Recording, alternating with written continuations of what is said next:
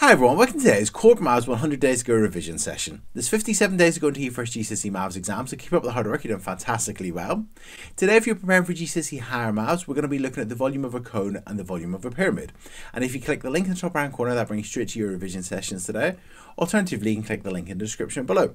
Or remember this QR code if you've got the 100 Days to Go books, or you can go through the website, or wait for the two icons at the end of the video. There's lots of different ways you can get to today's revision session. So today we're going to be looking at the volume of a cone and the volume of a pyramid. Um, so that follows on from yesterday's session on the volume of prisms and cylinders. If you're preparing for GCSE Foundation Maths, today we're going to be looking at simultaneous equations. So we're going to look at how to solve simultaneous equations today. And if you're preparing for GCSE Foundation Maths, it's quite useful to be able to solve those.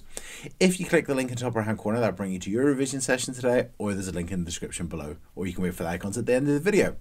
So that's it. So with 57 days to go, we're going to be looking at the volume of cones and pyramids if you're preparing for GCSE Higher Maths, and if you're preparing for GCSE Foundation Maths, we're going to be looking at simultaneous equations. So keep up the hard work, you're doing fantastically well, and I'll see you tomorrow for the next one. Cheers, bye.